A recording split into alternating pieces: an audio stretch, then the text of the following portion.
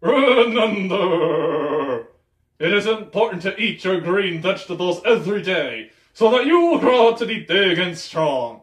Otherwise, you'll end up a scrawny little stick man, just like Eric Thorne from that 70s show. What's so funny? Was that a joke?